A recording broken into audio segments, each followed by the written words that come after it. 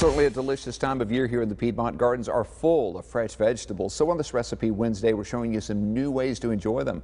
Shannon Smith live at Mozelle's in Winston-Salem. You had some great ideas so far this morning. Yes, and corn is one of those delicious tastes of summertime, and we're going to make it even better. Chef Jay Pierce, you're making a version of street corn. Yes. Tell me about street corn. Street corn is really esquites, which is like a Mexico City thing, and it's usually done elote, which is the whole corn, is boiled, and then you cover it with stuff and you eat it. Ah. It's, it's usually mayonnaise, cheese, chili, lime. And so we're, we cut it off off the cob. We got oil smoking, and we're going to saute it real fast. All right, that sounds good. You know, So it's kind of same flavored, but not off the cob. And you did that on purpose, me? well, that's what happens when oil starts smoking, you? You like it? right? And so we're just going to get it hot.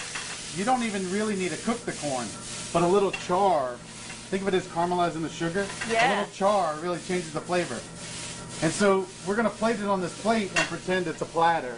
Okay. You're going to serve family style because when you're with your family, you share, Yeah, right? absolutely. So all we did was get it hot, right? Okay. That's a lot of corn, but that's four ears of corn, believe it or not. Really? Um, I'll put a little bit of salt and pepper on there, Okay. right? That's creme brulee's ready to come out of the oven. Oh, yum. It's So this is our mayonnaise. Okay. Instead of regular mayonnaise, I use yum yum sauce, which is Japanese white sauce, which you can buy in any grocery store, right? You guys, and- don't forget to take that out of the oven I won't, I won't. We're gonna garnish it with green onions. Okay. We're gonna. This is a, like a Korean red chili powder. It's not nearly as hot as. It's not nearly as hot as cayenne. Got right? it. But it looks good, right? But you can use a dried chili. A lot of cilantro is a fantastic thing, and then make sure everybody gets a lime. Oh, that looks because so you should lime it at the last minute. Lime it at the And last minute. This is cotija cheese, um, and that's a platter of. That's a platter of corn. That looks good. It's delicious. That looks really good with kind of anything you're grilling out for the summertime. That would go Think of it as a corn salad. It's a warm corn salad. You know, Right. And how fast did that go? Probably took more time to cut it off the cob. It did, it did. Another thing you could do is if you wanted to grill the corn on your back in your backyard, grill it whole, then cut it off, and then do all this.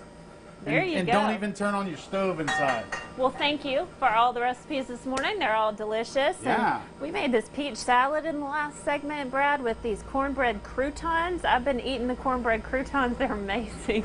So if you don't do anything else, try that. I know it's not a fresh vegetable, but it's still really good. Yeah, but they're all seasonal, all bringing the mm-hmm. fresh stuff in. Shannon, thanks very mm-hmm. much.